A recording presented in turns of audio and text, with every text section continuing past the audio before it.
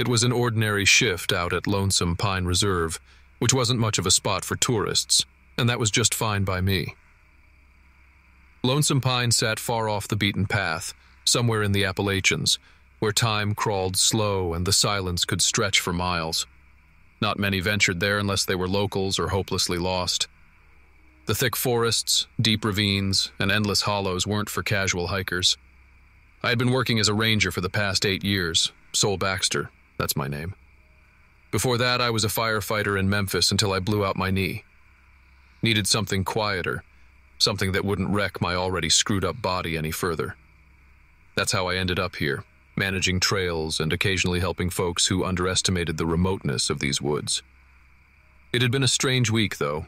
Not the normal type of odd, like finding trash left behind or some lost campers, but a bit eerie. We'd had a series of missing pets from nearby farms, a couple of goats, even a horse. There were whispers of black bears, but I had seen enough bear tracks in my time to know when one was around. This wasn't that. I was out near the southern boundary that day, close to the old logging trails no one used anymore. The sky was overcast, the air was thick, and a smell, something rotten, had been lingering on the breeze for days. I couldn't place it, but it sure wasn't natural.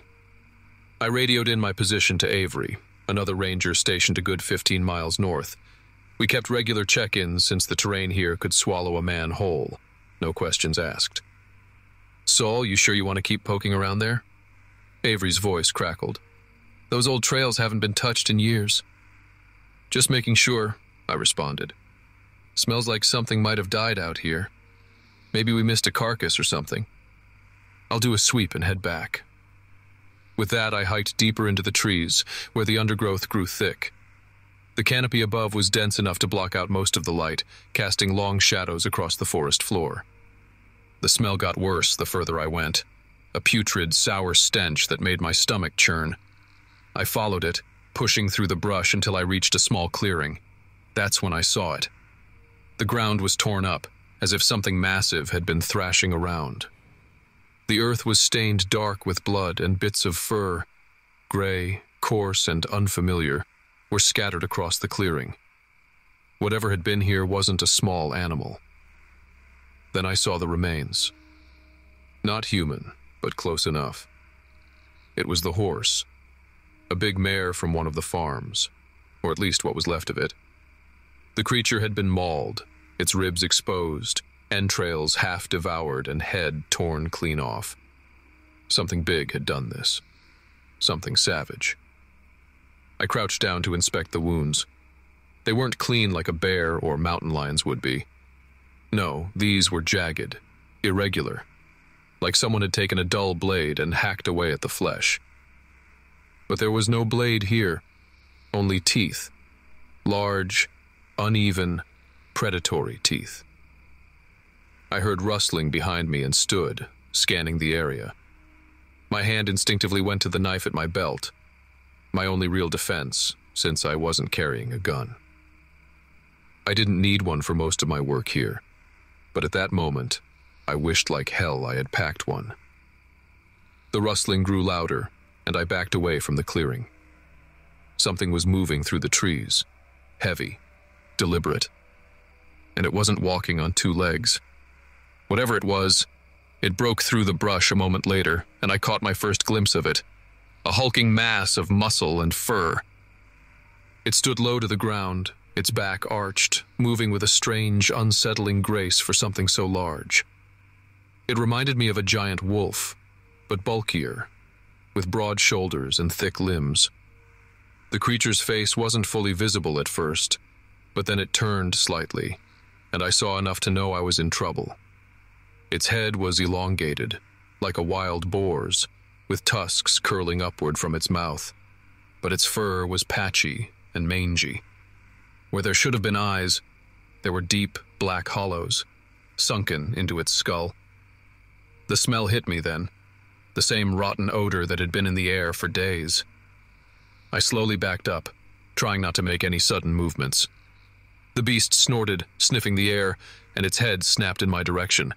It moved faster than I expected, leaping forward, jaws snapping at where I had been standing just seconds before. I stumbled back, adrenaline pumping through my veins as I ran, ducking under low-hanging branches and dodging rocks. It chased me through the woods, its growls echoing all around me, making it impossible to tell how close it was. My knee screamed in pain with each step, but I couldn't stop. I knew if I slowed down, it'd be over. I burst through a thicket of trees and found myself at the edge of a ravine. The ground crumbled beneath my feet, and I scrambled for balance, nearly tumbling over the edge. There was nowhere else to go. I could hear the creature crashing through the brush behind me, so I made a split-second decision and slid down the embankment, hoping the creature wouldn't follow. I landed hard at the bottom, dirt and rocks skidding down around me. My knee buckled and I cursed under my breath. But then, silence. I lay there, barely breathing, waiting for the sound of claws against stone, waiting for that awful stench to flood my nostrils again. But nothing came. For a moment, I thought maybe the thing had lost interest. Maybe it couldn't follow me down here. I waited a minute longer before pulling myself up on my feet, leaning heavily on a fallen branch for support. I had to get back to the station. If nothing else, I needed to warn Avery. I started limping along the ravine, trying to find a path back up when I heard something behind me. Slowly, I turned, expecting to see the creature again. But what I saw was far worse. The thing had crawled down the ravine, silently stalking me. It stood just feet away, staring at me, its mouth dripping with the blood of the horse. There was no more running. I grabbed the knife from my belt and faced it head on. If this thing wanted me, it was going to have to fight for it. I was not going down without a struggle.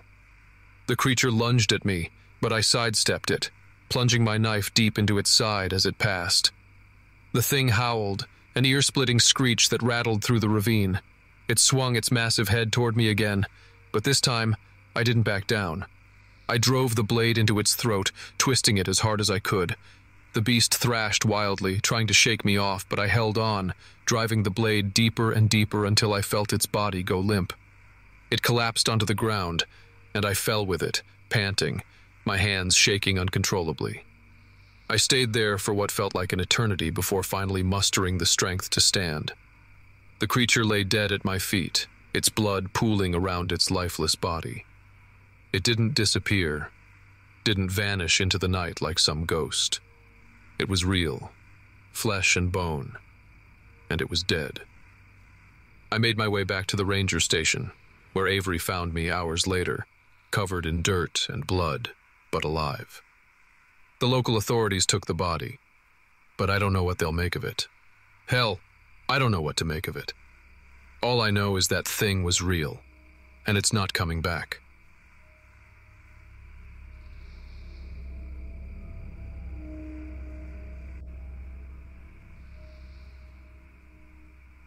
I've always hated the smell of pine trees. Not because they smell bad. No, it's quite the opposite, actually. They're too clean, too fresh.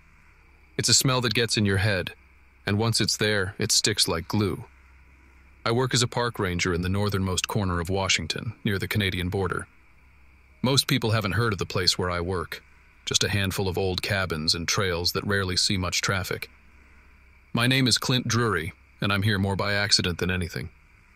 I needed a job, and this was the only thing open. So here I am, wandering the woods, cleaning up after hikers who forget that nature doesn't come with a trash can. I didn't grow up in these woods. I'm from the Midwest, a flat stretch of nothing where I learned to keep to myself. After a stint in the Army, I found myself with no real direction and even fewer friends. Being a ranger sounded like it might be peaceful, a way to avoid the noise of the world. Turns out it's mostly lonely. Not peaceful, just lonely. Most days I walk the same trails, checking the same markers, making sure no one's gone and gotten themselves hurt.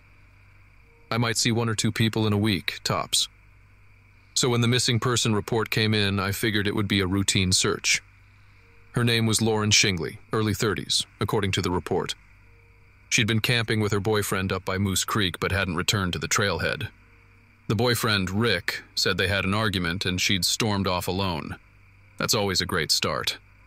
It didn't help that Rick was a jittery mess when I met him. Said she'd been gone for nearly 48 hours. Two days out here without supplies? That's a death sentence. The temperature drops fast at night. I grabbed my gear and set out early, hoping I'd find her within a few hours, maybe huddled under some tree, mad as hell but alive. The woods were quiet that morning. No birds, no wind, just the soft crunch of pine needles underfoot and that ever present smell. I radioed in a couple of times with no updates, just the usual. Still nothing. Continuing search. About five hours into the search, I came across something strange. There was a clearing about half a mile from where Rick said they had camped. It wasn't on any of my maps, but that wasn't too unusual. This forest has its fair share of odd corners and forgotten places. What was unusual was the smell. Not pine, something else. Something rancid and sour, like meat left too long in the sun. I stepped into the clearing expecting to find an old deer carcass or maybe a bear's leftovers. Instead, I found something much worse. Bones. Scattered, white and gleaming in the dappled light. But not animal bones. These were human. I recognized them immediately. Years of wilderness training and military service had taught me to recognize death up close. And these bones were fresh. My heart sank as I approached. A torn backpack lay nearby, the fabric shredded, blood dried on the straps. The bones weren't Lauren's. They were too large, too heavy. I knelt down, poking at the ground around them. No sign of clothes or shoes, just bones and the mangled remains of a backpack. That's when I heard it. A rustling sound behind me, faint but deliberate. I turned slowly, standing up and reaching for the hunting knife on my belt. It was instinctual.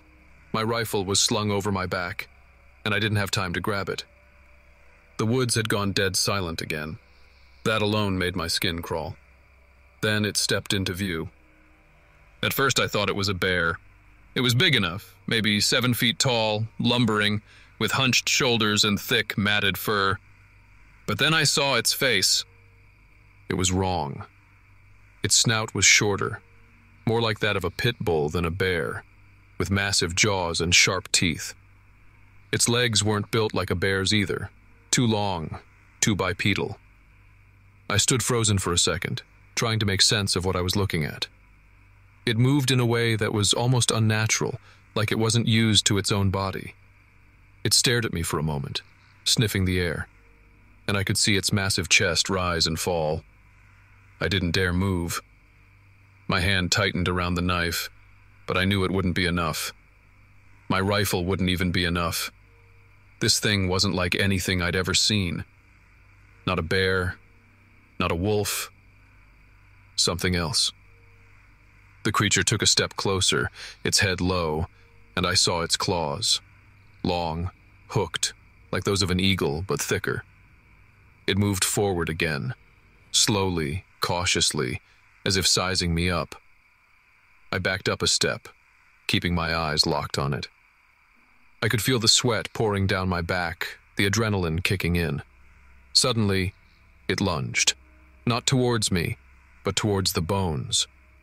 It grabbed a femur, crunching down on it like a dog with a bone. That was my chance. I bolted, sprinting through the trees as fast as I could. I didn't care where I was going, just away from that thing. My radio was dead. I must have dropped it in the clearing. I ran for what felt like an hour before I collapsed behind a fallen tree, panting, my chest burning. I knew it wasn't far behind me. The thought of those claws ripping through flesh haunted me. I don't know how long I sat there, hidden among the roots and dirt. Long enough for the sun to dip lower in the sky. I kept expecting to hear it crashing through the trees after me, but the woods were quiet again. No wind, no birds, just that smell. Clean pine mixed with something darker. I had to get back to the ranger station. My rifle was useless, but I had a flare gun in the cabin. Maybe I could scare it off with that. I waited until the shadows grew long before I made my move. I crawled from my hiding spot, listening for any sign of the creature. But all I heard was my own breathing. When I finally reached the station, I locked the door behind me, grabbing the flare gun and loading it. The thing was out there, I knew that much. I just didn't know where, or how long it would be before it decided I was worth coming after. And then, just as I was catching my breath, I heard the knock.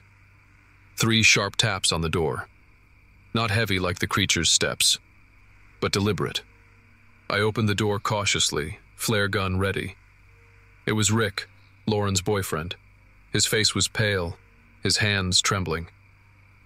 Did you find her? he asked, his voice barely a whisper. I didn't know what to say. I hadn't found her, but I'd found something else. Something worse.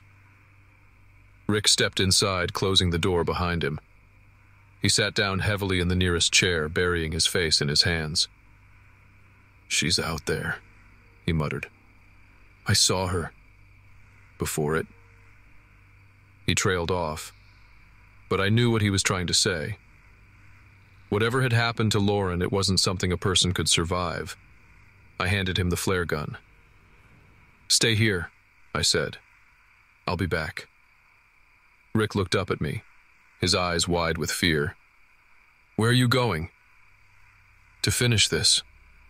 I grabbed my hunting knife and stepped back outside, the cool night air hitting my skin. The woods were still, but I knew it was out there waiting. The creature didn't come for me that night, or the next, but it left its mark. The bones in the clearing didn't disappear. When the search team came the next day, they found what I'd seen evidence of something horrible. As for Lauren, she never turned up. No body, no sign of where she might have gone. But I know, and Rick knows, and so do the bones, bleaching in the sun where we left them. There's something out there. It doesn't vanish, and it doesn't forget.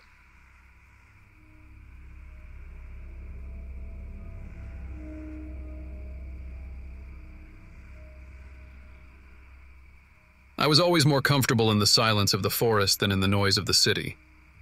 My name's Jed Larkin, and I've been a park ranger for 10 years. It wasn't what I dreamed of as a kid.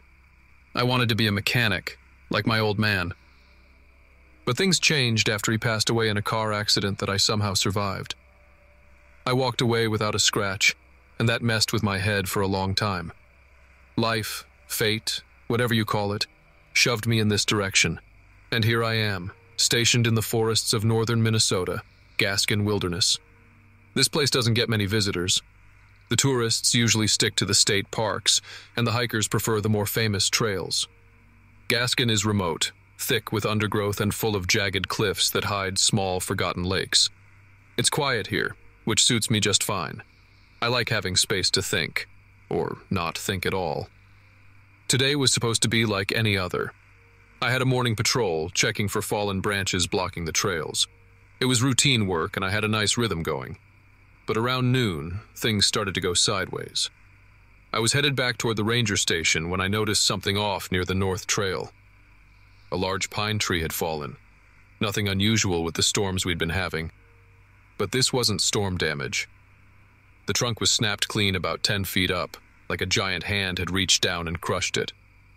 That's not normal. I walked closer, noticing deep gouges in the bark where the tree had broken. It wasn't the work of a bear or an elk.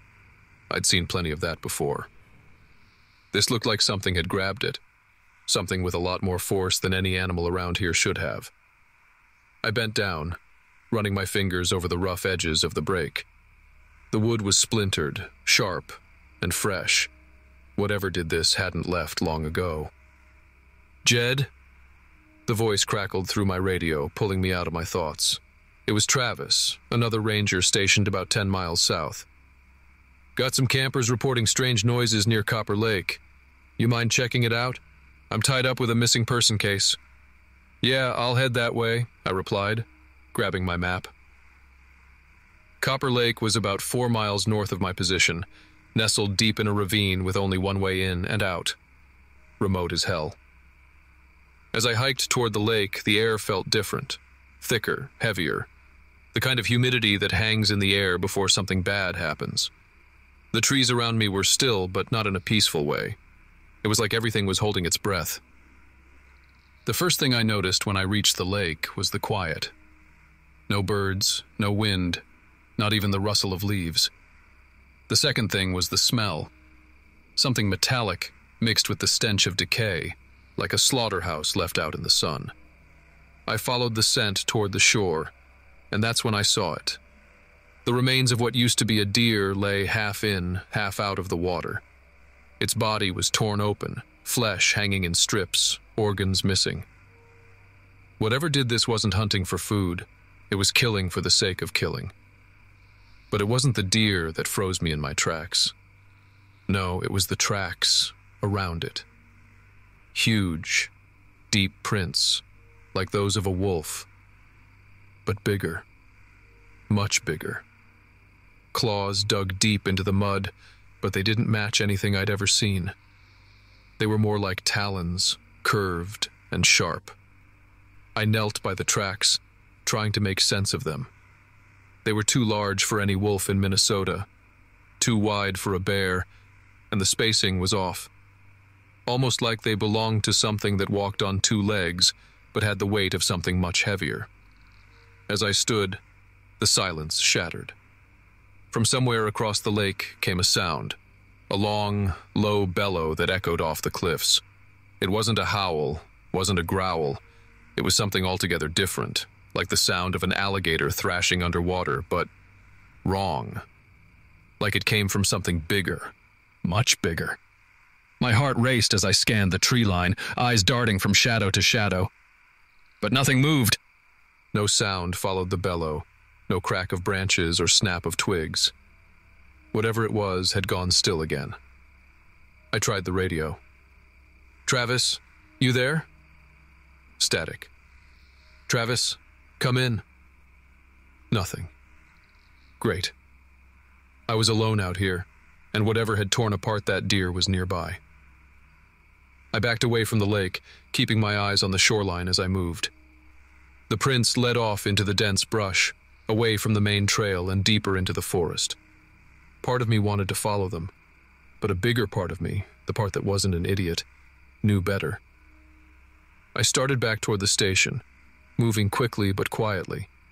Every step felt heavier than the last, my boots sinking into the earth as if the ground itself was trying to swallow me. I couldn't shake the feeling that I was being watched, that something just out of sight was keeping pace with me, waiting for me to let my guard down. And then I heard it, behind me, maybe 50 yards away. The sound of branches snapping, but not like something walking. More like something moving fast. I turned, but the trees blocked my view. That's when I saw it. A flash of movement between the trunks something dark and massive, slipping through the undergrowth with a speed that shouldn't have been possible for something that size. It was like a cross between a bear and a lizard, with a long, muscular tail that whipped around behind it, cutting through the ferns like a scythe. Its body was covered in what looked like thick, matted fur, but the tail and back had patches of rough, scaly skin, like the armor of a crocodile. I didn't stick around to get a better look. I turned and ran, I didn't stop running until I burst out onto the main road near the ranger station, breathless and soaked in sweat. My mind raced, trying to piece together what I had just seen. But nothing made sense. Nothing that big should move that fast, and nothing that vicious should be so quiet. I barged into the station and grabbed the phone, dialing Travis's number. He picked up after a few rings, his voice crackling through the line. Jed, what's going on? Travis, there's something out here, I panted. Something big, bigger than any bear or wolf. It's. It's hunting. What are you talking about? His voice sounded concerned but skeptical. What did you see? I don't know what it was, man, I said. But it killed a deer, and it was tracking me. We need to shut down the trails, get people out of here. There was a long pause. All right, I'll notify the higher ups. But Jed, we can't just. The phone cut off, replaced by static. I slammed the receiver down and grabbed my rifle from the locker. If this thing was still out there, I wasn't going to be caught off guard again. I loaded the gun, checking the chamber before heading back outside. The forest was dark now, the sky above thick with clouds. I could feel the weight of the rifle in my hands, the cool metal grounding me as I scanned the tree line. My heart still pounded in my chest, but I wasn't going to run again. And then I saw it, standing at the edge of the trees, just beyond the range of my flashlight. It was tall, taller than a man, and hunched over like some twisted hybrid of predator and prey. The head was elongated, almost reptilian, with wide, flaring nostrils. Its shoulders were broad, covered in patches of that same thick fur, and its arms hung low, tipped with claws that gleamed in the dim light. It stared at me, just stared. Neither of us moved. My finger hovered over the trigger, and then, with a suddenness that made my heart jump, it bolted, disappearing back into the trees with a fluidity that defied its bulk. I stood there for a long moment, listening to the forest. The weight in my chest lifted, and I finally allowed myself to breathe. The others believed me when I showed them the prints, the torn up deer carcass, and the broken tree. We closed the park for a while, citing dangerous wildlife in the area. No one went missing. No one else saw the creature. But I know it's still out there. And next time, I won't hesitate.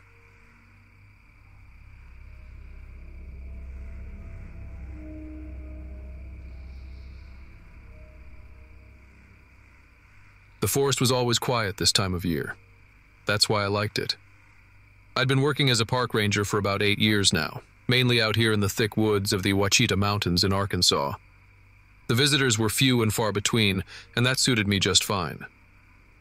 I wasn't one for small talk or chit chat.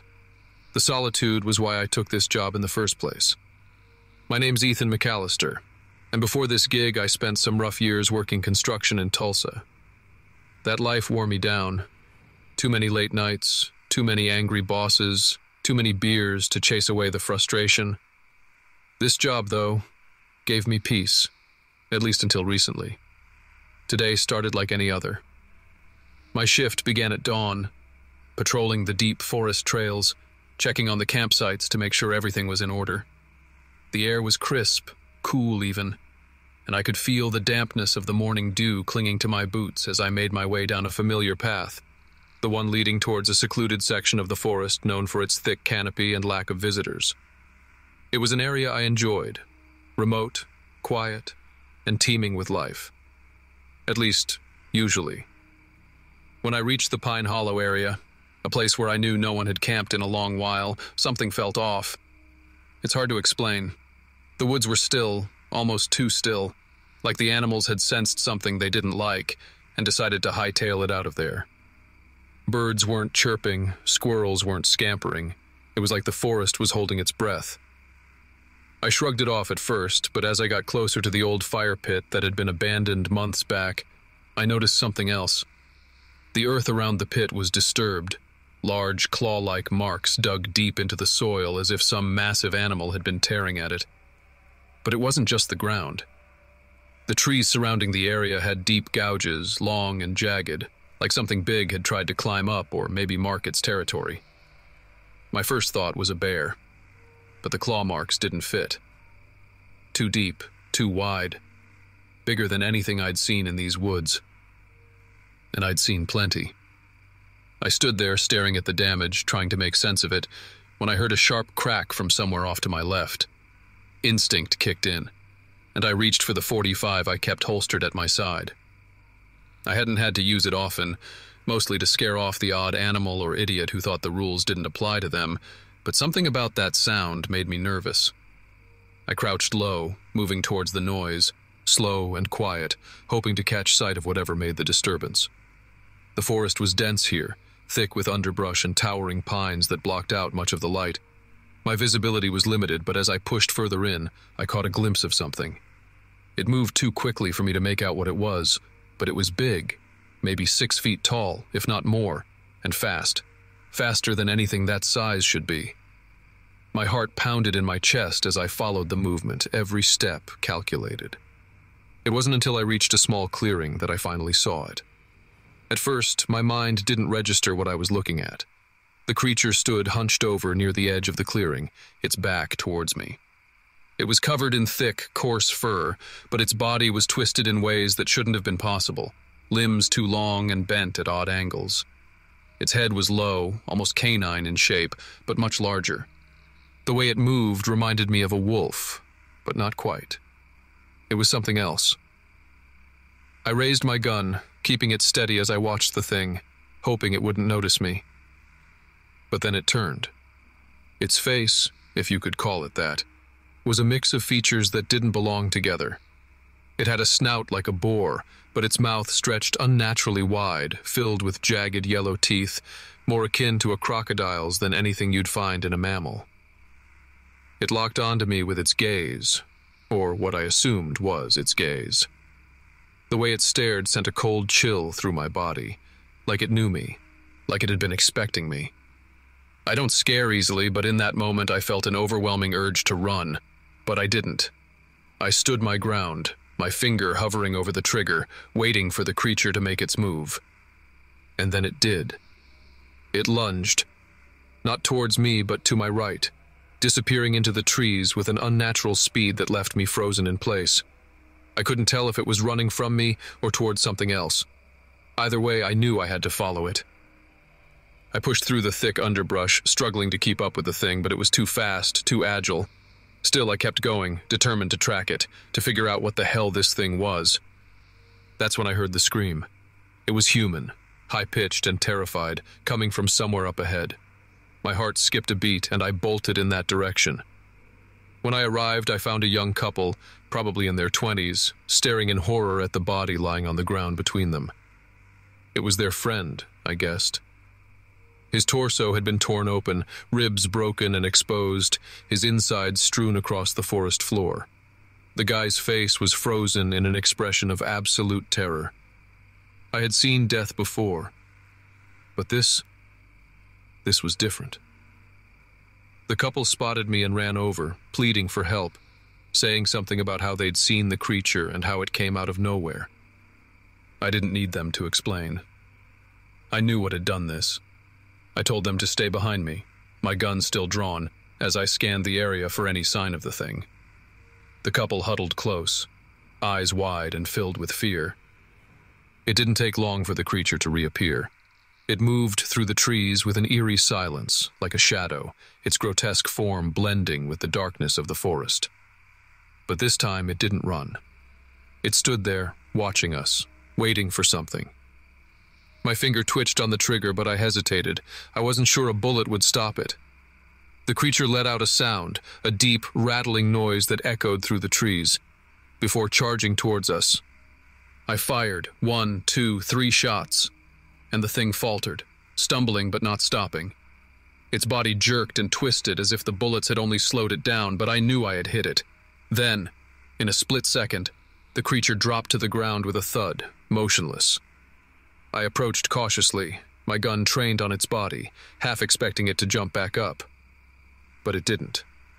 It lay there, blood pooling beneath it, its limbs twitching slightly before going still. I stood over the thing for what felt like an eternity, the couple silent behind me. It was dead, and it didn't vanish into thin air, didn't disappear like some figment of my imagination. Its body was real, lying there in the dirt, a twisted, grotesque thing that shouldn't have existed. I called it in, and soon after, my fellow rangers arrived along with a local sheriff. They were as baffled as I was, their faces pale as they stared at the creature. I don't know what it was, but I knew one thing for sure. It wasn't from around here, and it had been killing in these woods for a long time. We just hadn't known it until now. The sheriff took my statement and the couple was escorted back to safety. As for the body of the creature, it was taken away for further examination, whatever that means. All I know is it's gone now, and the forest is quiet again.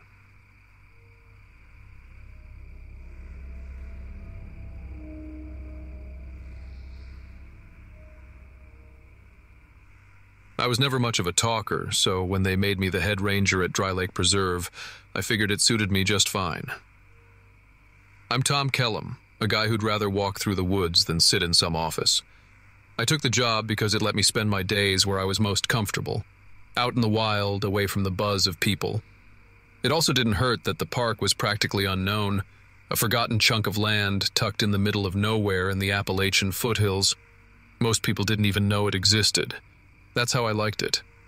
There were only two others on staff Randy, a quiet guy with a knack for fixing things, and Michelle, who handled the paperwork and the occasional visitor. Visitors were rare. The park wasn't exactly a tourist trap. That's what made it odd when Randy told me about the footprints. Found them down by the old creek bed, he said, squinting against the midday sun. They're big. Don't look like any animal I've ever seen. I didn't think much of it at first. Randy wasn't one to exaggerate, but weird prints in the woods usually meant nothing. I told him I'd check it out after lunch. The creek bed was a good three miles into the park, down a winding trail that hadn't seen much use since the state rerouted the main road years ago. By the time I got there, the light was starting to fade, and I had to crouch low to get a good look at the ground. Randy wasn't wrong. The prints were big, about the size of a dinner plate, but they were oddly shaped, kind of like a bear's, but elongated and with a weird spread to the toes, almost like some kind of reptile. I took a few photos with my phone and sent them to a wildlife biologist I knew in Knoxville. He got back to me a couple hours later with a question that put a knot in my gut. What made these? I had no clue. I hiked back to the station as dusk settled in. I didn't mention anything to Michelle. She was already dealing with the quarterly reports and wouldn't appreciate me piling on more stress. But I told Randy to keep an eye out. Later that night, around midnight, I was woken by a strange noise outside my cabin. It wasn't loud, more like a rhythmic thumping. I got out of bed, grabbed my flashlight, and stepped out onto the porch. The woods around the park had this eerie silence about them, the kind that presses in on you and makes you feel watched. Then I saw it. Movement in the trees about 50 yards off. I clicked on the flashlight and caught the briefest glimpse of something. Something big. It moved with the speed of a wolf, but had a bulk that reminded me of a large cat, though its body was all wrong. My flashlight didn't stay on it long enough for a clear picture, but my first thought was a giant boar. Only it was too sleek, too silent for a boar. The next day, Randy told me a couple of the park's fence posts had been knocked down overnight. It didn't sit right with me, but I shrugged it off. The park had a few wild animals, deer mostly, and occasionally we'd get a black bear or a wandering cougar. Maybe that's all it was. Things got weirder when a hiker went missing two days later. He'd been part of a small group from some outdoor adventure club. They'd come up from Atlanta, looking to get off the beaten path. The rest of them returned to the station by nightfall, but one guy, Ralph was his name, never showed up. We organized a search party the next morning. Michelle stayed back to coordinate with the local authorities while Randy and I took a couple volunteers into the woods. We found Ralph's backpack near the creek bed, the same place where Randy had found the tracks. But Ralph wasn't anywhere nearby. I started to get that sinking feeling in my gut again, but there was no time for doubts. We had to keep moving. Around noon, we split up. Randy took one volunteer down the creek, while I and another guy named Carl headed uphill toward the ridge. The woods were quiet. Too quiet. You get used to certain sounds when you've been in the woods as long as I have birds, squirrels, the rustling of leaves. But there was nothing, just dead air and the crunch of our boots on the ground. Then we found Ralph, or what was left of him. He'd been mauled, badly. His body was twisted in a way that no human body should ever be. But it wasn't just the violence of the attack that bothered me. It was the sheer size of the bites and claw marks on him. No bear or mountain lion could have done that. This was something bigger, stronger.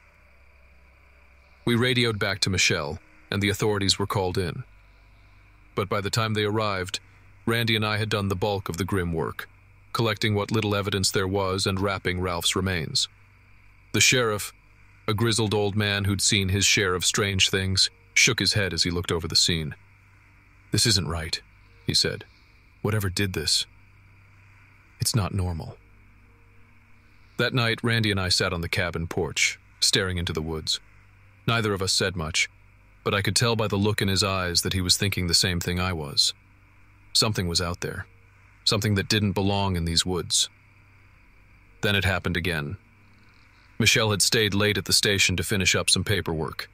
Randy and I were just about to head inside when we heard a blood-curdling scream from the direction of the office. We bolted across the clearing, our flashlights bouncing wildly, the beam cutting through the dark like knives. We found her slumped against the door of the station, claw marks raked across her side. She was still breathing, but barely. I called for an ambulance while Randy tried to stanch the bleeding. She was in shock, mumbling something about eyes in the trees and something fast, too fast for her to see. The paramedics arrived just in time to save her, but the fear in her eyes stuck with me. I had enough. I didn't care what it was anymore. I just knew I needed to stop it. Randy and I grabbed the rifles from the supply shed and set off into the woods, back to that damned creek bed where everything seemed to go wrong. We didn't talk much, just kept our eyes peeled and our weapons ready. It wasn't long before we heard it again, those soft, thudding footsteps like something heavy moving quickly but with precision. We crept closer, flashlights off, trying to get the jump on it. And then I saw it. It was crouched by the water, hunched over something, probably another animal it had taken down. It looked like a cross between a panther and a crocodile, sleek black fur but with thick scaly patches running down its back. Its limbs were long and muscular, built for speed, but its head, God, that head. It had a snout like an alligator, but smaller, more compact. I don't remember raising the rifle. I just remember pulling the trigger. The creature jerked back, letting out this low, gurgling sound, and then it charged at us, faster than anything I'd ever seen. Randy fired too, but it didn't stop. We kept shooting until it finally collapsed, crashing into the creek with a splash.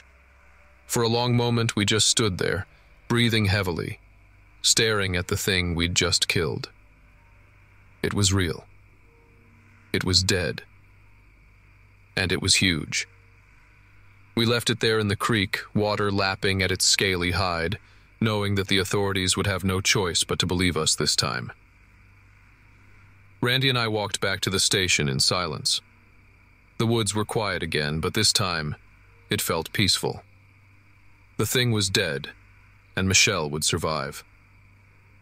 There was nothing left to say.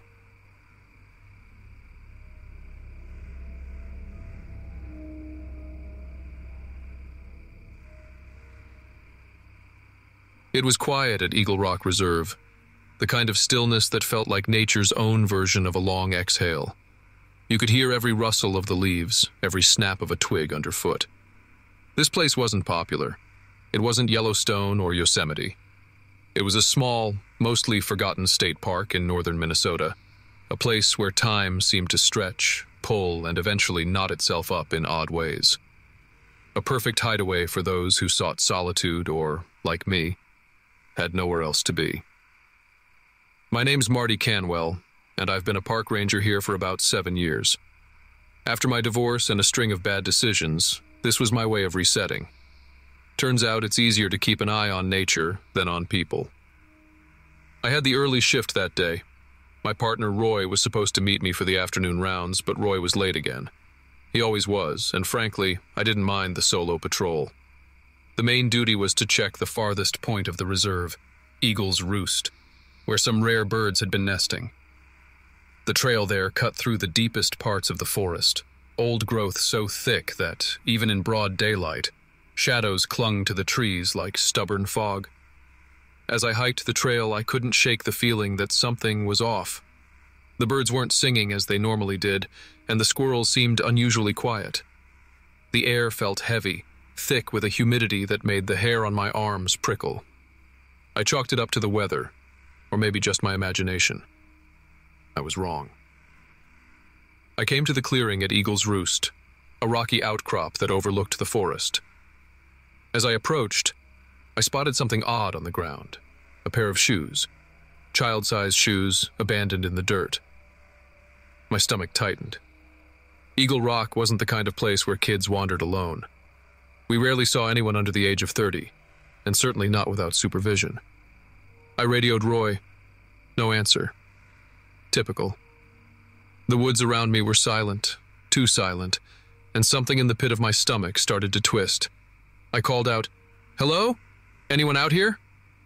My voice sounded too loud, intrusive even. There was no response. But then I heard it a sound like a branch breaking, except more deliberate, like bones snapping under pressure. It came from the thicket just ahead. I edged closer, my hand on the handle of the pistol holstered at my side. I wasn't armed often, but after a wild boar incident last summer, I didn't take chances out here. I parted the branches, revealing a small open space beneath the canopy. My breath caught in my throat. There, on the ground, was the body of a deer, or what was left of it. Its limbs were twisted at unnatural angles, bones jutting out of shredded flesh. Its face was frozen in what could only be described as terror. Something had gutted it, but it wasn't a predator. Predators killed to eat. This was different. This was savage, senseless. I backed away slowly, scanning the tree line. My pulse pounded in my ears as I tried Roy again on the radio, my voice steadier than I felt. Still no answer. Then I saw movement. Just a flash of something low to the ground, darting between the trees. Whatever it was, it moved fast. Too fast for a bear, too big for a coyote. My breath quickened. I pulled my pistol free and kept it low, stepping carefully backward. That's when I heard a faint whimper, like a child crying. My heart stopped. I turned toward the sound, following it deeper into the woods. The trees became thicker, the shadows longer, and that eerie silence returned. I couldn't place it, but the forest felt wrong. And then I saw her, a little girl, no older than eight, standing alone in the middle of the clearing, barefoot and dressed in a pale, dirt streaked nightgown. Her dark hair hung limp over her face. She was crying softly, her shoulders shaking with each sob. Hey, I said gently, holstering my gun and approaching her cautiously. Hey, sweetheart, are you lost? She didn't respond. As I drew closer, something clicked in the back of my mind. Something that wasn't right about her, the way she stood too still, too rigid. I stopped a few feet away, and as I crouched down to get a better look, she slowly raised her head. Her eyes were wrong. They weren't the eyes of a frightened child. They were black, endless, like two pits of nothingness. I stumbled backward, nearly tripping over a root. The girl's mouth twitched into a crooked, unnatural smile. And then she screamed. It was a high pitched, bone rattling wail that didn't belong to a human, let alone a child. I scrambled back to my feet, the noise ringing in my ears, but before I could react, something massive shot out from the trees behind her. A shape, long and sinewy, like the body of a snake, but covered in thick, matted fur. It slithered forward with impossible speed, its mouth opening wide, revealing rows of sharp teeth like that of a lamprey. I didn't think. I just ran. The forest around me became a blur of dark green and brown as I sprinted back toward the trail. The sound of something crashing through the underbrush followed close behind, too close. I turned and fired blindly over my shoulder. I heard a screech, but I didn't stop to see if I had hit anything. My only goal was to reach the ranger station. My lungs burned by the time I broke through the tree line and spotted the small wooden station in the distance. I could still hear that thing behind me, tearing through the forest with a speed that made my stomach churn. I burst through the door of the station, slamming it shut behind me and locking it. I pressed my back against the wall, my breath coming in ragged gasps. I fumbled for the radio on the desk, my hands shaking. Roy! I shouted into the receiver. Roy! Where the hell are you? Static crackled, followed by a voice. Marty, calm down. What's going on? Before I could respond, something slammed against the door, hard enough to rattle the frame. The creature outside let out a low, guttural sound, like the pained bellow of a wounded animal. Something's out there, I whispered into the radio. Something's hunting me. Roy's voice came through, confused and anxious. Stay put. I'm on my way. The door creaked, the wood splintering under pressure. I drew my pistol again, my palms slick with sweat. The noise stopped for a moment, and I thought maybe it had left. Maybe it realized I wasn't worth the effort. But then, from one of the back windows, I saw it. Its head, snake like but with that matted fur, peering in. It opened its mouth wide again, revealing those horrific lamprey teeth. It let out a screech, and I fired without thinking. The bullet hit its mark. The creature thrashed wildly, its head whipping back and forth before collapsing onto the ground just outside the window. I didn't wait to check if it was dead. I knew better. Roy showed up an hour later, just as I was reloading my pistol. He didn't say a word when he saw the mess outside the window, just stared, slack jawed. They won't believe us, he muttered after a long silence. They don't have to, I replied, glancing at the body. But that thing, it's not going anywhere. And it didn't.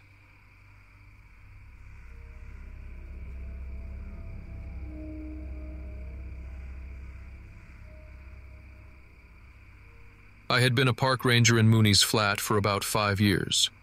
Ever since I decided to leave behind the stress of city life and find some peace in the woods. My friends thought I was nuts for trading in a cushy marketing job for a cabin in the woods, but I'd had my fill of corporate nonsense and smog filled streets. I wanted something real, something that didn't involve staring at a screen all day. The irony is, the woods weren't as peaceful as I thought they'd be. Mooney's flat isn't a place you'd see on postcards. Tucked away in a quiet, wooded corner of Oregon, it's known only by the few locals and the occasional lost tourist. Our ranger station sits on the edge of a vast, uninhabited stretch of forest, peppered with thick trees and the kind of underbrush that can swallow you whole if you're not careful. We don't get a lot of visitors, but when we do, they're usually the hiking or camping type the ones looking to escape from life, just like I was. One night, around 10 p.m., I was still at the ranger station wrapping up paperwork for an overdue permit. I was alone, as usual, the other rangers already clocked out for the day. I didn't mind the quiet. The hum of the coffee maker and the soft tap of the rain against the window were the only sounds keeping me company. Just as I was about to call it a night, the radio crackled to life with static. Then a faint voice came through. Ranger. Emergency. Campsite. Something's wrong. It was hard to make out all the words, but I recognized the voice. It was Patrick Morgan, a local who liked to camp out in the deeper parts of the forest, away from the usual trails. Patrick was a seasoned outdoorsman, the type who could identify animal tracks with a glance and make fire with two sticks and some leaves. So, when he said something was wrong, I knew it had to be serious. I grabbed my coat and flashlight, hopped in the Ranger Jeep, and sped down the narrow dirt roads leading to his favorite campsite. It wasn't far, maybe a 20 minute drive from the station. The rain had picked up, making visibility tough, but I'd driven these roads so many times that I could navigate them with my eyes closed. When I got there, Patrick's tent was still pitched, but it was shredded in places like something had clawed at it. His truck was nearby, doors open, headlights dimmed by the rain. I called out his name a couple of times, but only the wind answered. That, and something else. A low, almost whining noise coming from the trees. It reminded me of the way a large dog sounds when it's hurt, but it was too guttural for that. Too unnatural. I shined my flashlight toward the trees, and that's when I saw Patrick, or what was left of him. His body was half hidden by the underbrush, and his face was frozen in a contorted mask of fear. His arms and legs had been torn apart, like he'd been dragged into the woods by something far stronger than any human. The air was thick with the metallic scent of blood, and I could see patches of skin missing from his body as if something had gnawed on him. I swallowed hard and stumbled back toward the jeep, fumbling with the radio. Dispatch, this is Ranger Dane. We've got a. We've got a situation. Morgan's dead. Something's out here. The reply was delayed, garbled by static. Repeat, Dane. What do you mean, something? But I didn't have time to explain because I heard it again, that whining, almost mechanical sound. But this time, it was closer. I turned around and spotted movement in the trees, something large shifting between the branches. I aimed the flashlight, and for a brief moment, I saw it. A creature about the size of a bull, but leaner, with long, sinewy limbs.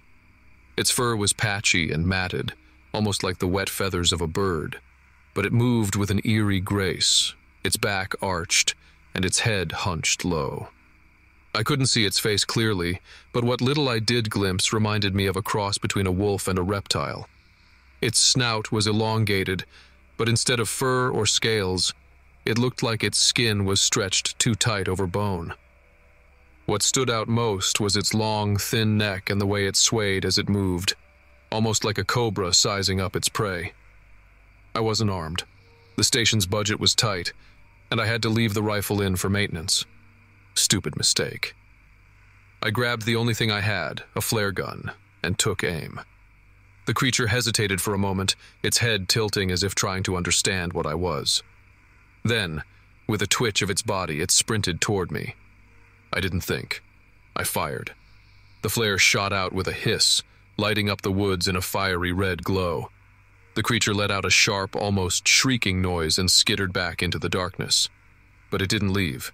I could hear it circling the clearing, staying just beyond the reach of my flashlight. I kept the beam trained on the trees, backing slowly toward the jeep. My heart pounded in my chest, and all I could think was that I needed to get out of there before it decided to make another move. As I climbed into the driver's seat, I heard the creature again, that unnatural whining sound, but this time it was distant, retreating deeper into the forest. I sped back to the station, not stopping until I was inside with the door locked behind me. I radioed dispatch again, more clearly this time, telling them everything I'd seen. They were skeptical at first, but when I insisted on getting a search team out there, they finally relented. It took the better part of the night, but when the team arrived at Patrick's campsite, they found what I'd described his body torn apart, the tent slashed to ribbons. But more disturbing were the claw marks etched into the trees around the campsite, deep and wide, like something had used the trunks as scratching posts. The next morning, the sheriff and the state wildlife officials came out to investigate. They tried to chalk it up to a mountain lion, maybe even a bear, but no one could explain the claw marks or the strange whining sound I'd described. The search for the creature turned up nothing, and eventually they wrote it off as a freak accident, a predator getting too bold in its territory. But I know what I saw. That thing wasn't a bear, and it sure as hell wasn't a mountain lion. It was something else, something I can't even begin to categorize. And the worst part is, it's still out there, somewhere in those woods, waiting. I took a few days off after that, but eventually I went back to work. Life in the woods doesn't stop just because of one strange encounter.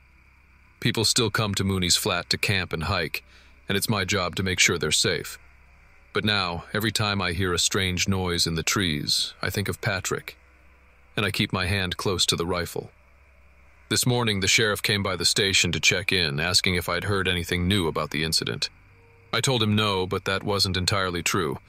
Last night, while I was closing up the station, I heard it again, that whining sound, just outside the tree line. I didn't go out to investigate. Not yet. But something tells me it's not done with us. Not by a long shot. And that's where I left it.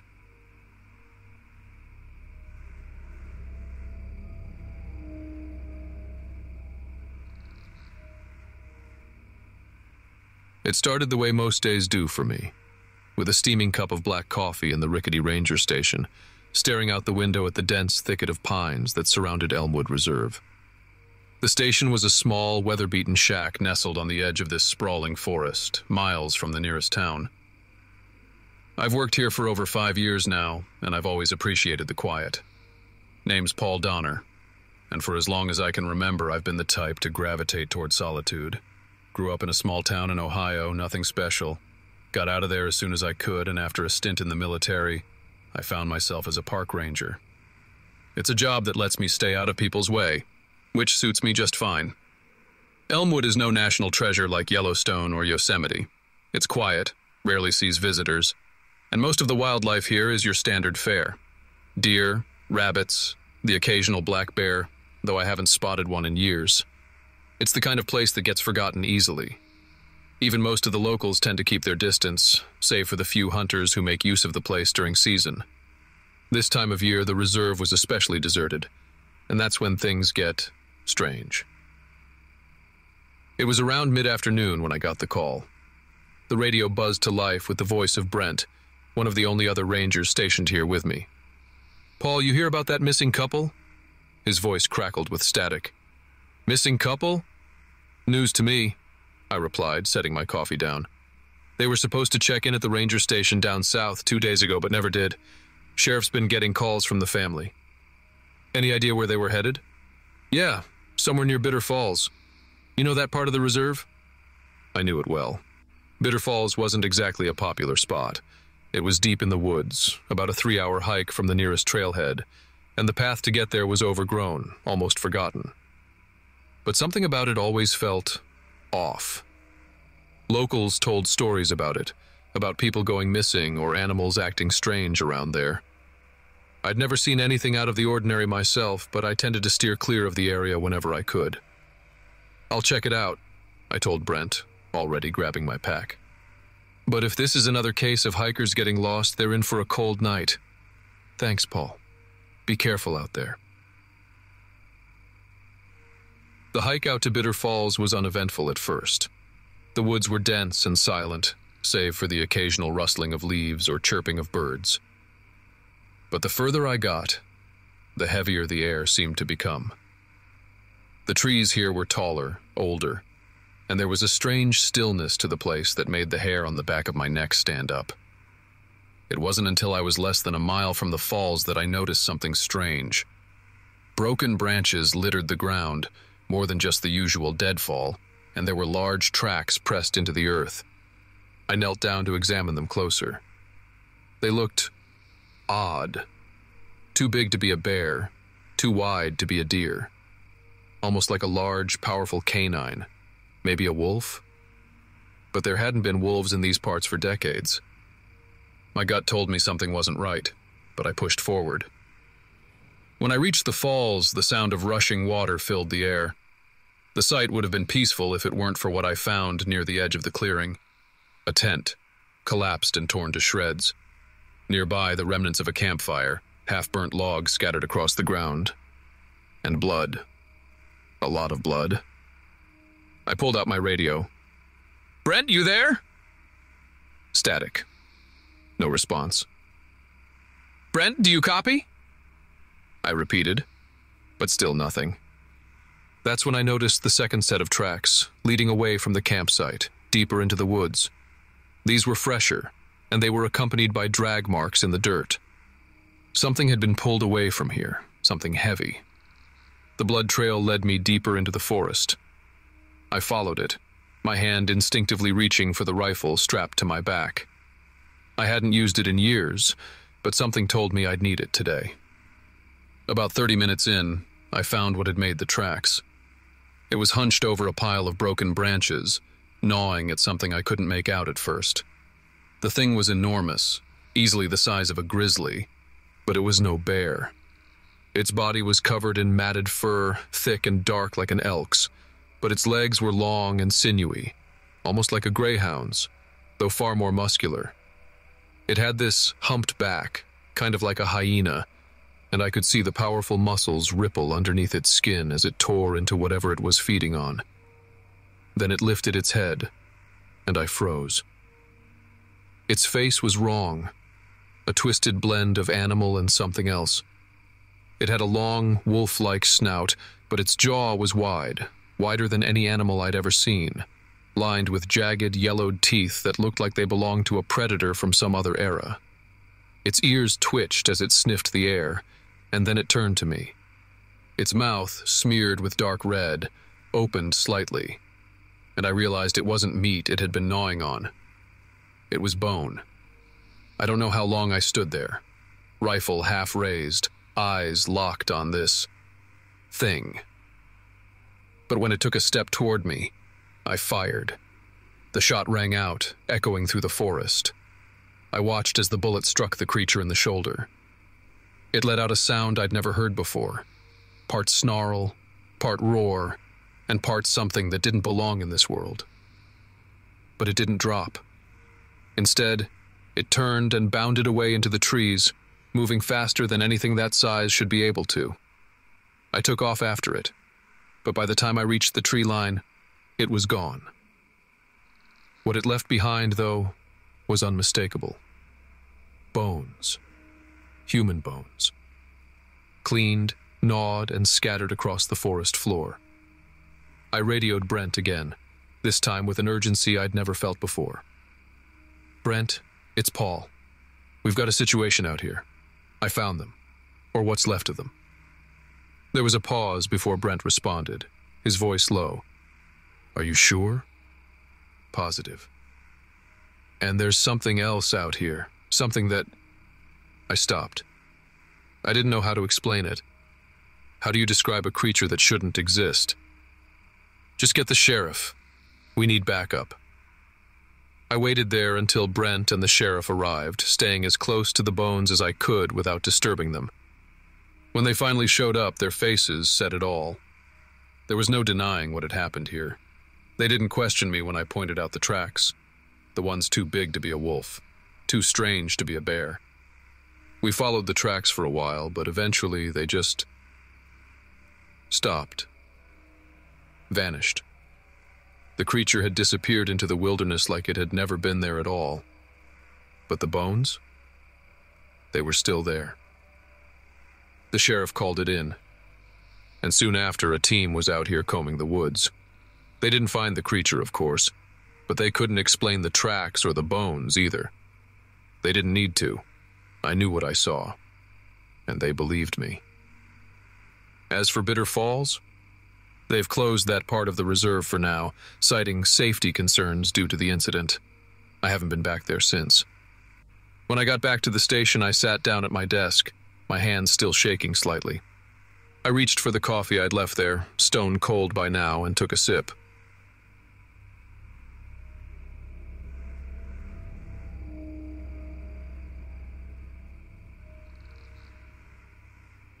The first time I ever heard the name Trapper's Gulch, I was sitting in my tiny kitchen eating breakfast at 5 o'clock a.m. before heading out to work.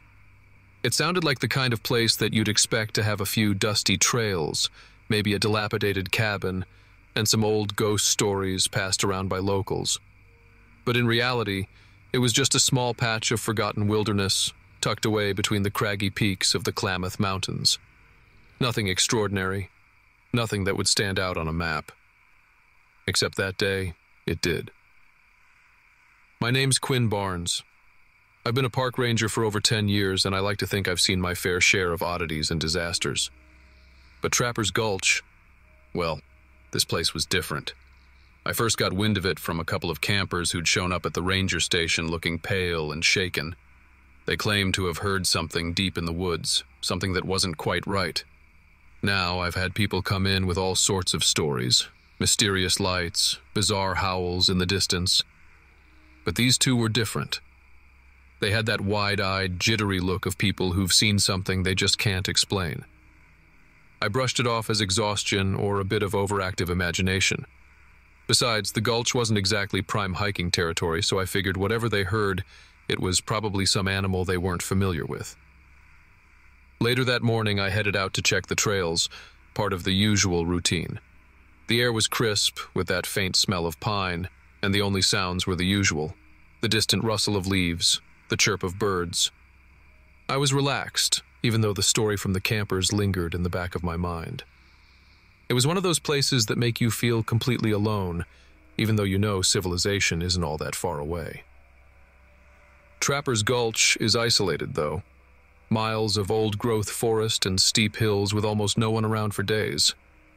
The land's practically abandoned except for the occasional backpacker who likes to test their survival skills.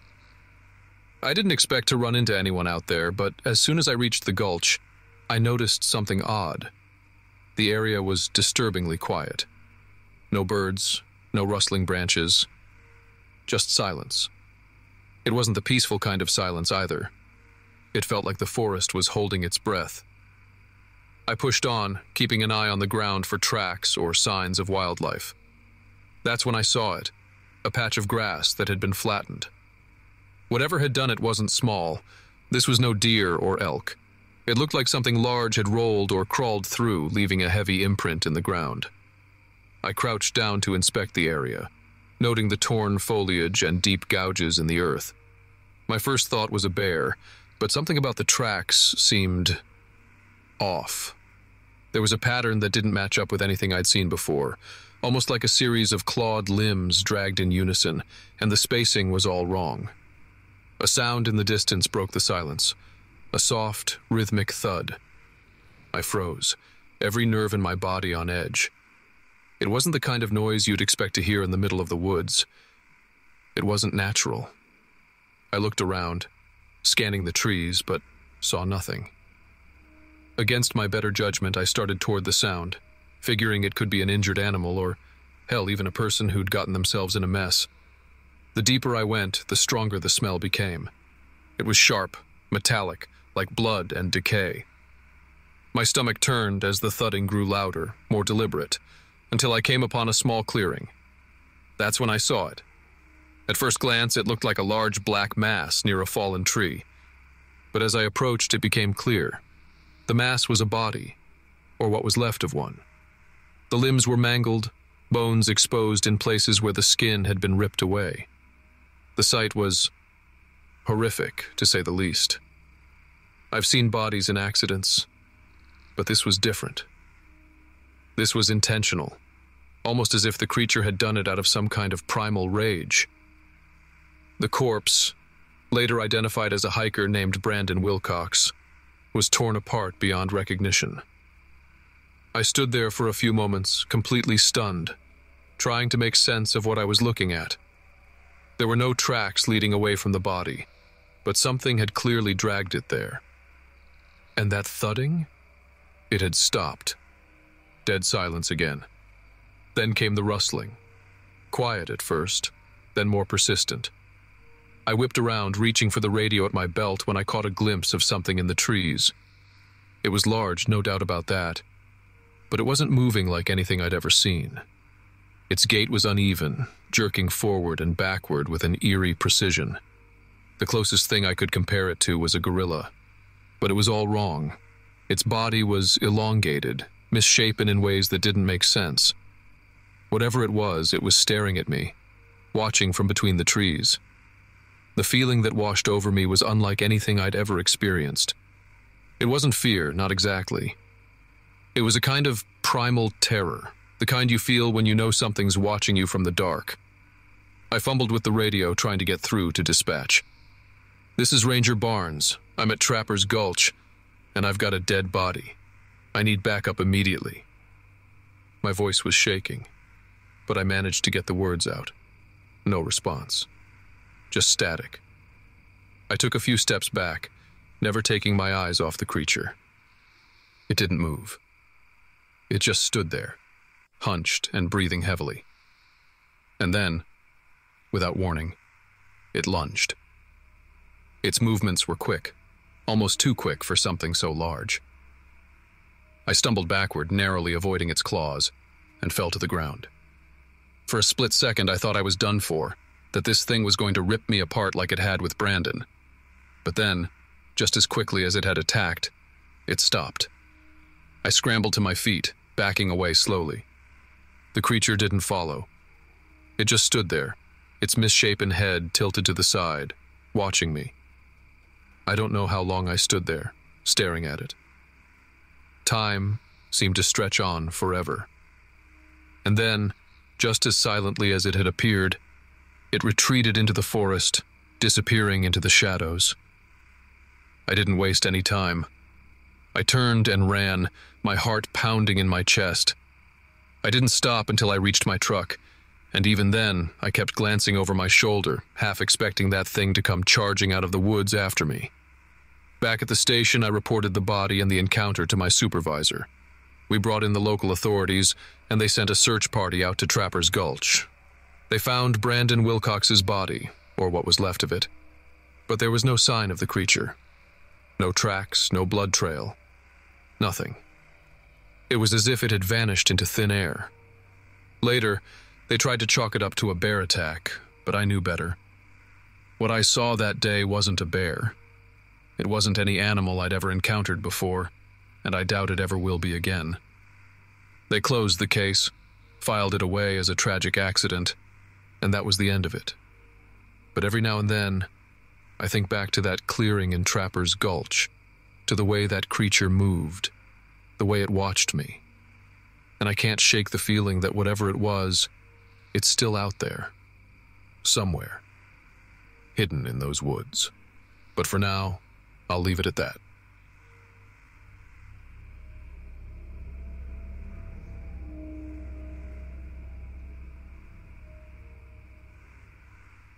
It was supposed to be just another routine day in the park.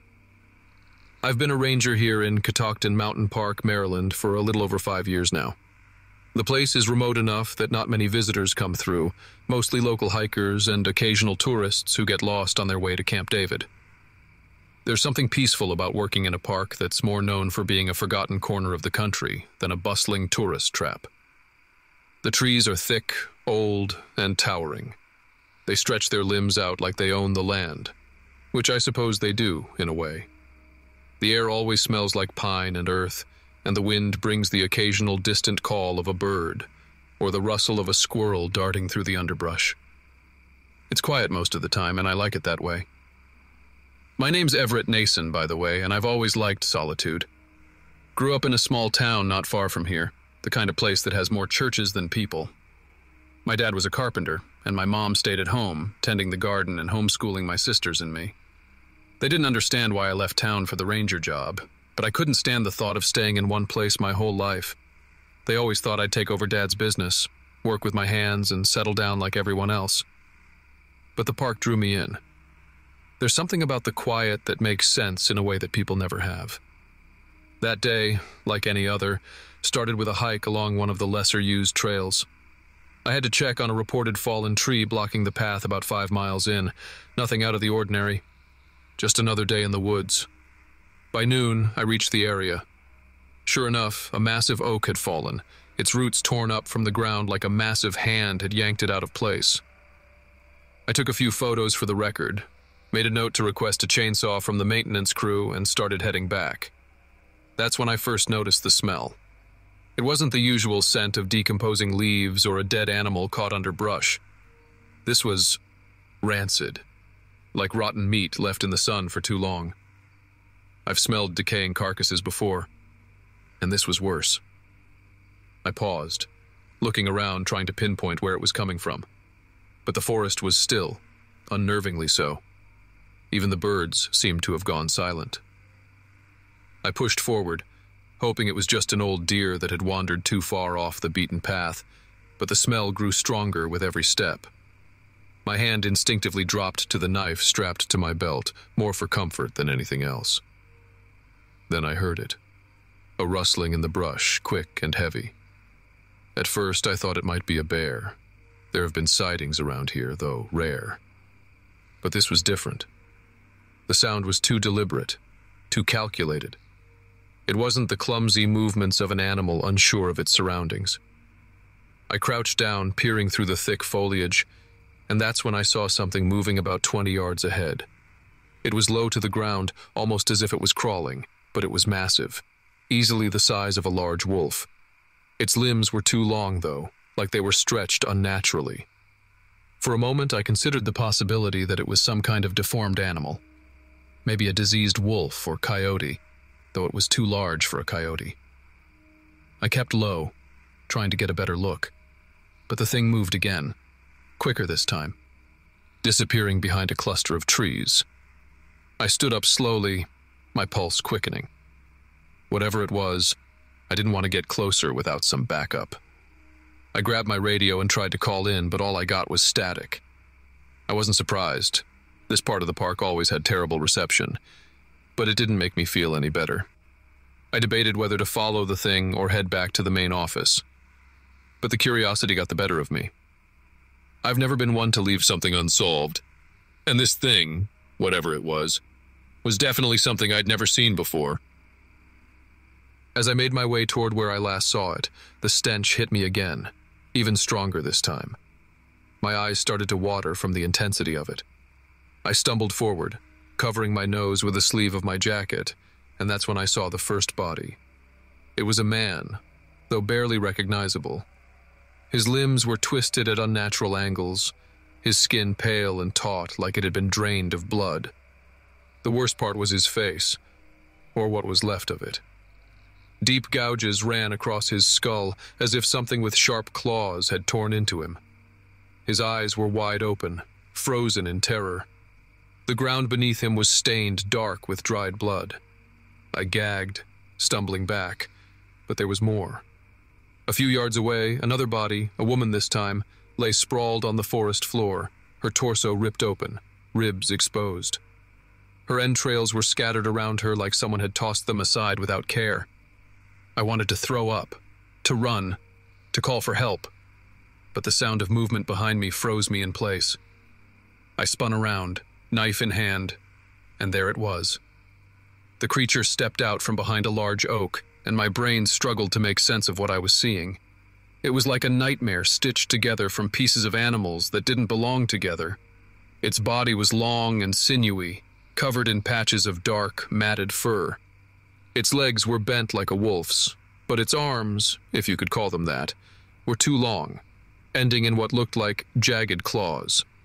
It reminded me of a sloth in some ways, with limbs too long for its body, but this thing was far more menacing.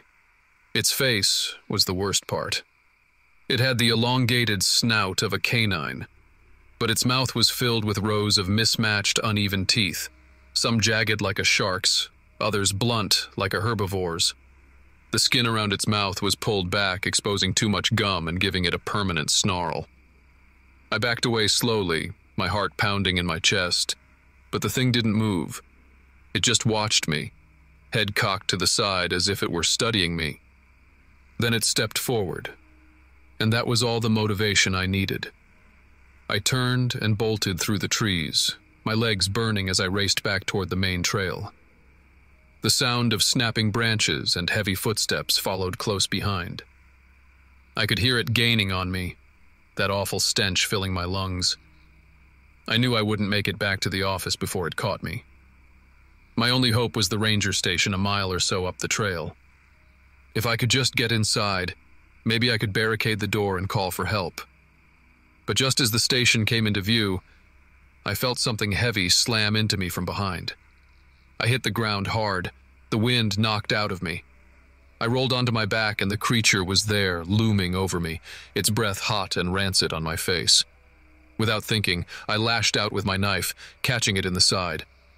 It let out a sound that was more like a hiss than a roar, and for a moment I thought I might have a chance. But then it swiped at me with one of its claws, and pain exploded in my side as its talons tore through my jacket and into my flesh.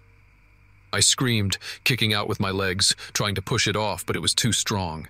It pinned me to the ground, its mouth opening wide, too wide, as if it was about to bite down. And then, just as suddenly as it had appeared, it stopped. Its head jerked to the side, and it released me, retreating into the woods as quickly as it had come. I lay there, gasping for air, clutching my bleeding side, watching as the creature disappeared into the trees. I waited for what felt like hours before I dared to move. When I finally made it to the station, I collapsed inside, locking the door behind me. Later, when the other rangers arrived, they found the bodies. They believed me. How could they not with the carnage laid out in front of them? But no one knew what the creature was. They never found it, though the smell lingered in the air for days like a warning. I still work here, still patrol the same trails, but every time I catch a whiff of something off, I can't help but wonder if it's still out there.